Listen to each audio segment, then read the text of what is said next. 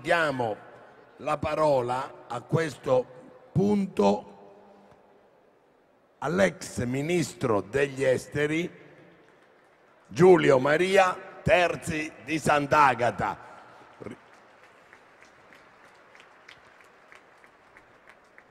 che è il nostro rappresentante degli italiani nel mondo, ma è stato anche un grande diplomatico e perciò sa che la sintesi in diplomazia è la cosa più importante. Io tremo quando vedo i discorsi scritti. Non solo ho un maestro di sintesi che è Ignazio, ma è anche un grande leader nel gestire le assemblee.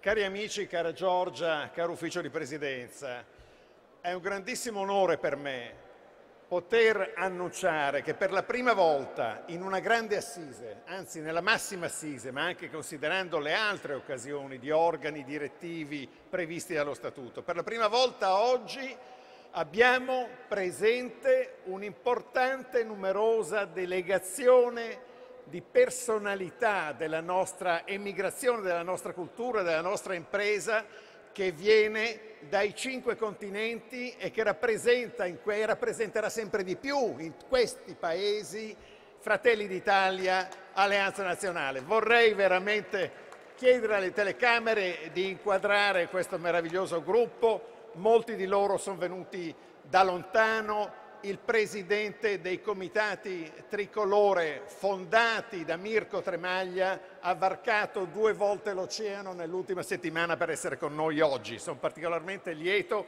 e onorato di darvi questo annuncio e di potervi assicurare che questo gruppo così qualificato di esponenti di Fratelli d'Italia continuerà a lavorare con voi, con tutti noi, per il successo e sempre più l'affermazione della nostra identità. Questo perché l'italianità è un valore identitario di grandissima forza per Fratelli d'Italia e il, no- il nome che ci siamo dati riassume una storia millenaria, una storia millenaria, quella delle decine di milioni di italiani che hanno affermato la loro identità nazionale dentro e fuori dai confini.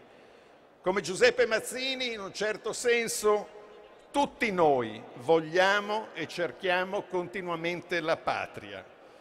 E lasciatemi dire che nessun altro partito quanto il nostro conserva nel proprio patrimonio il valore dell'essere italiani in un unico popolo e in un'unica nazione. È stato solo il nostro partito a battersi per contrastare i recenti attacchi a simboli identitari della cultura e del pensiero italiano nel mondo, come quelli di Italo Balbo e di Cristoforo Colombo.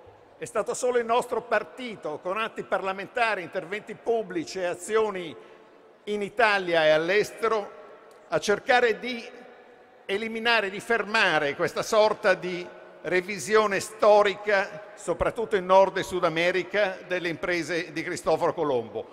Ma non si è mai levata una voce da Gentiloni e dei suoi ministri per sottolineare come questi processi revisionistici siano un vulnus ai valori e ai principi dell'Occidente, lo siano ancora di più in un momento così drammatico per la diffusione e i rischi che pongono i fenomeni migratori, il terrorismo, la radicalizzazione e la violenza.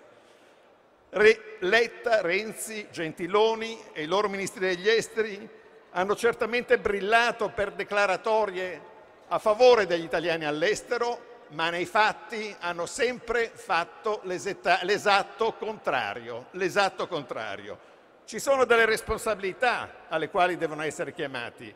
La prima è quella di aver proposto indecentemente una riforma elettorale che spazzava via completamente sei rappresentanti eletti all'estero, riduceva il numero delle voci che potevano valere nel Parlamento italiano per rappresentare queste realtà così importanti e addirittura raddoppiava il numero dei voti necessari ad eleggere all'estero un deputato rispetto ai voti richiesti in Italia. Ma ancora di più, questi governi, gli ultimi tre governi a guida PD, si sono resi responsabili politicamente di aver distrutto in parte la rete consolare, le forme di assistenza, di tutela, di protezione dei nostri italiani nel mondo sia individualmente che come gruppi. Abbiamo circa 15 milioni di italiani che sono giorno per giorno presenti all'estero e non possiamo permetterci di smantellare in un colpo solo con un tratto di penna 20 uffici eliminandoli dalla rete, riducendo il personale nel giro di pochi anni, personale della Farnesina di più di 1200 persone, di ridurre le risorse economiche in modo così massiccio che soltanto 50 milioni di euro sono spariti nel giro di, poche, di pochi anni dai capitoli di bilancio della Farnesina destinati a queste finalità. È ora di finirla, la tendenza deve invertirsi e Fratelli d'Italia è fortemente impegnato a farlo. È impegnato a farlo attraverso misure di equità fiscale, l'abolizione dell'IMU sulla prima casa deve riguardare anche gli italiani all'estero.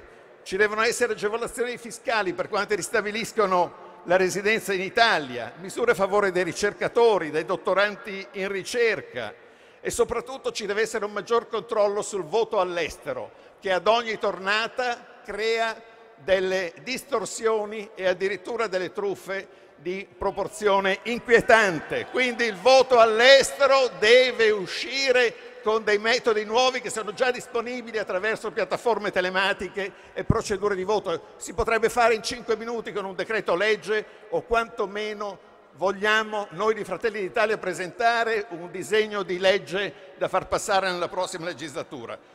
Vogliamo un rafforzamento significativo delle forme di assistenza, delle forme di protezione. I connazionali all'estero sono parte integrante del nostro popolo e della nostra sovranità ed è indecente, lasciatemelo dire ancora una volta, che gli interessi economici cancellino regolarmente le priorità della difesa degli italiani che stanno in difficoltà.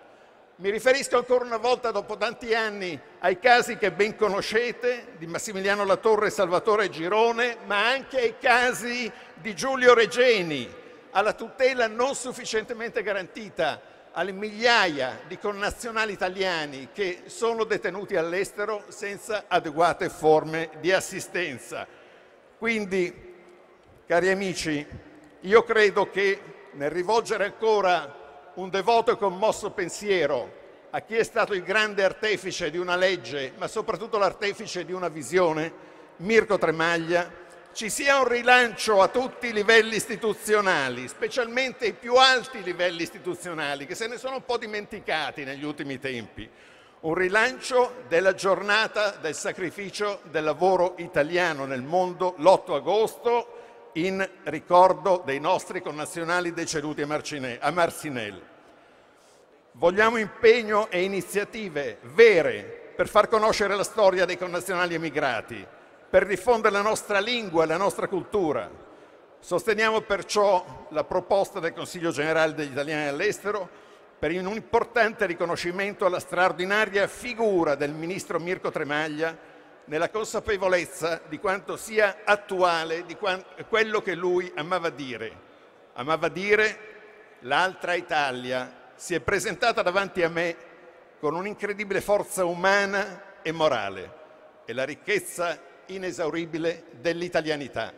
L'italianità è affermata dentro e fuori dai confini nazionali nella nostra identità e nel nostro modo di essere un popolo sovrano. Grazie.